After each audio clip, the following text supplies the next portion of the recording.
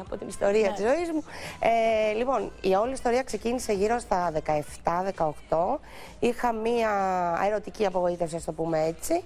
Ε, ο δεσμός που είχα τότε, εφηβικός μου έρωτας, έκανε παράλληλη σχέση με την καλύτερη μου φίλη, χωρίς να το γνωρίζω. Κάποια στιγμή το έμαθα.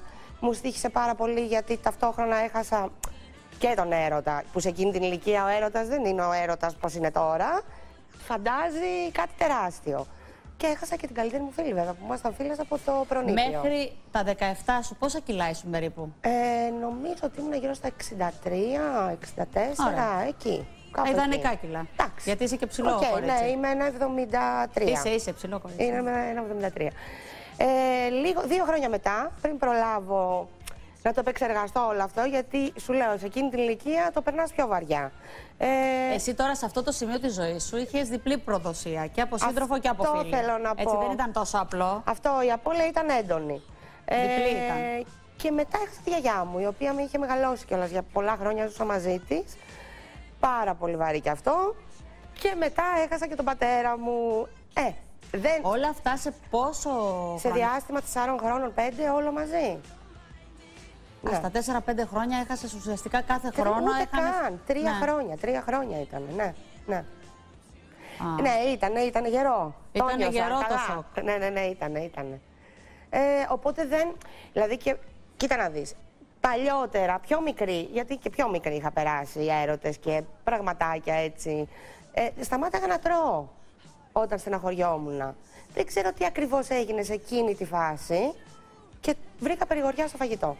Να σε ρωτήσω κάτι, βρε Αντιγόνη. Το πιο σημαντικό στην πρώτη φάση της ζωής σου, εκείνα όταν είσαι 17 ετών, το Ναι. πιο σημαντικό είναι ότι σε προδίδει ο σύντροφός σου ή η φίλη σου; φίλη σου, Η βέβαια. φίλη. Δηλαδή εκείνη την ώρα μέσα σου αρχίζεις και τρως Φυσικά. κομμάτια της φίλης σου. Φυσικά. Εννοείται αυτό. Στα προηγούμενα κομμάτια της ζωής σου που ήσουν ας πούμε 60 κάτι κιλά και σου συνέβαινε κάτι δύσκολο. Δεν Είχες- έτρωγα. Δεν έτρωγες. Ναι. Αυτό σου λέω, δεν έτρωγα πριν. Δεν ξέρω τι έγινε σε εκείνη τη φάση της ζωής μου και γύρισε τούμπα όλο το πράγμα. Και άρχισα να τρώω. Και μετά δεν σταμάτησες ποτέ, δηλαδή Όχι, δεν ισορρόπησες; σταμάτησα, όχι, είχα αυξομοιώσει συνέχεια. Φυσικά. Ε, κάποια στιγμή γύρω στα 25 νομίζω. Έχασα αρκετά κιλά. Τώρα μην με ρωτήσεις ακριβώς. Όχι, όχι, δεν έχει και σημασία. Γιατί δεν το θυμάμαι. Όχι, δεν έχει σημασία. Αλλά είχα χάσει πολλά κιλά. Ε, ήμουν κανονικότατη. Μετά, πότε ξαναπήρα κιλά, ξαναπήρα όταν πήγα στην Αγγλία. Με τον Που άντρα πάλι μου. είχες μεταβατικό στάδιο στη ζωή σου. Μπράβο, μπράβο. Δεν μπορούσα να προσαρμοστώ καθόλου στην πραγματικότητα εκεί, γιατί βρέθηκα και στην αγγλική επαρχία. Δεν ήμουν καν στην πρωτεύουσα. Ε, και ήταν σαν να πας και εδώ κάπου σε ένα χωριουδάκι στην επαρχία και ξαφνικά να κάνεις μια ζωή άλλη, εντελώς.